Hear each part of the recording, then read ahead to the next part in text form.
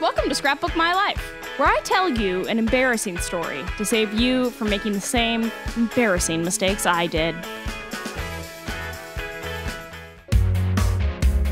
I loved playing volleyball in gym class. I'm tall, so I could spike and serve the ball really well. Once, I heard my crush Cameron say, Sarah's on our team, so we're definitely gonna win. By now, the game had gotten pretty heated. I served the ball, and the other team hit it back. It landed out of bounds.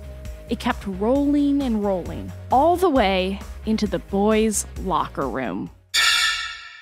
The gym teacher blew her whistle. Sarah, grab the ball. You're the closest. My whole face flushed red. She wanted me to go into the boys' locker room? I whispered, I can't go in there. I'm not a boy. There's no one in there. Everyone's on the court. I thought about saying no, but I didn't want to make it a big deal. I have to admit, I was curious. Was the boys' locker room the same as the girls'? What color were the lockers?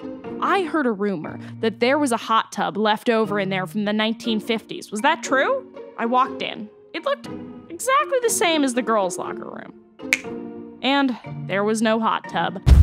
But where was the volleyball? I heard something. I jumped into one of the lockers to hide. It smelled disgusting. Someone came out of a stall. It was Cameron, my crush. I tried to remain completely silent, hoping he'd walk out. Then I saw the volleyball. It was under the sink. Cameron saw it too and picked it up. My mind was racing. Oh no, if Cameron brings the ball back to gym class, people will come looking for me, and I'll have to hide in this locker for the rest of the school day, or maybe even for the rest of my life. I jumped out of the locker and lunged for the volleyball. Ah, what are you doing? Cameron screamed. I'm a girl, I blurted out. I ran back to class with the ball, totally humiliated. Later that afternoon, I saw Cameron walking toward me. Oh no. Was he gonna call me a creep? He whispered, Let's never talk about what happened today ever again. It turns out he was embarrassed too, because when I was in the locker room, he was pooping.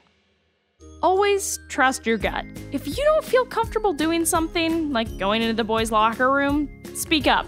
And don't believe any rumors you hear about ancient hot tubs. They're not real.